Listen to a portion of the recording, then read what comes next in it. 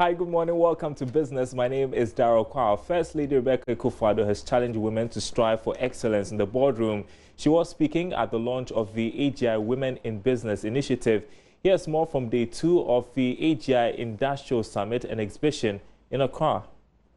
The day also saw some captains of industry exchange thought leadership ideas on business competitiveness. First Lady Rebecca Akufo-Addo in a speech called for more women to take up roles in the boardrooms arguing that the best performing businesses the world over are those with majority women workforce.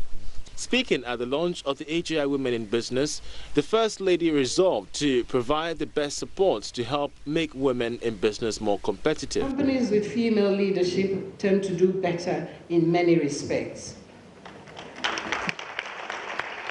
Firms with more women at the top are more focused on better environmental stewardship. So a lot more needs to be done. For example, in my opinion, there are far too few women in our boardrooms.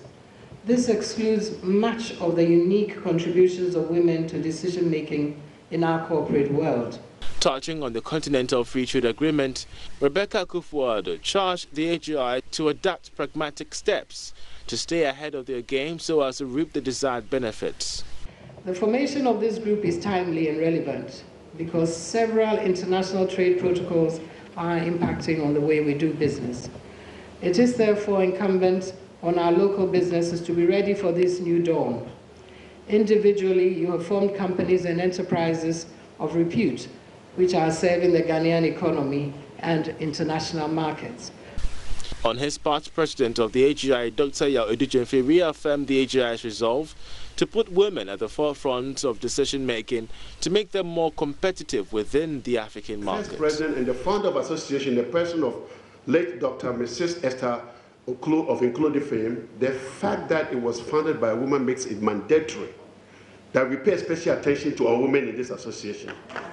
The launch saw women executives of the AGI Women in Business adorned, while the First Lady interacted with some exhibitors on display at the exhibition.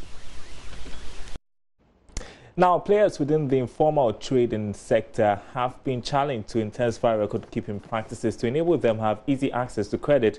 MD of Ecobank Dan Sackey, who stated this, noted that the lack of information sharing between financial institutions and informal traders has scaled down the numbers and the frequency with which credit is accessed. He was speaking at the launch of Ecobank's Omni Lite DigiBanking Pack. There's more in this report. Nobody can sit here and debate whether SMEs are important. It is important. MD of EcoBank and Regional Executive Anglophone West Africa, Dan Sackey, says the main reason most businesses in the informal sector have challenges accessing credit from financial institutions is the lack of information sharing and trust. At the launch of EcoBank's OmniLite DigiBanking app targeted at the informal sector, Dan Sackey explains that his outfit, in close partnership with AFB, will be using the newly introduced mobile app to track the spending and revenue patterns of traders. Between us and the various SMEs, the relationship has to improve. The reason why it is not where it should be is because of lack of information. Lack of information on our part because, as I've said, we are not traders.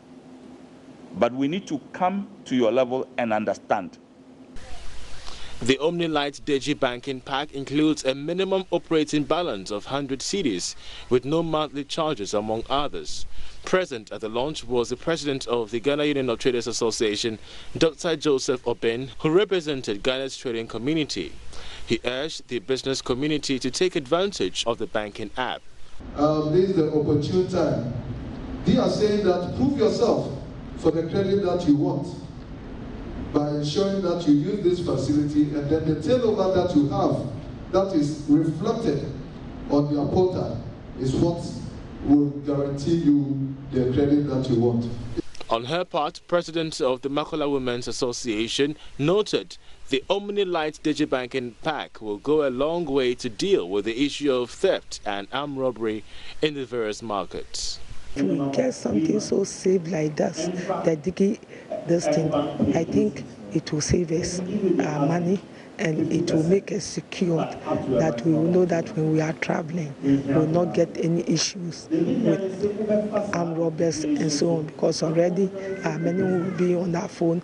When even the phone is lost, uh, your money is there, you can retrieve it with the new phone. The EcoBank OmniLite Digibanking Pack is expected to enhance working capital and, of course, increase access and also increase access to new markets. And that's it for business.